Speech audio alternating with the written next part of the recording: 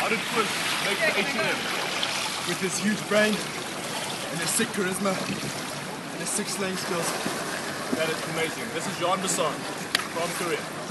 from Korea.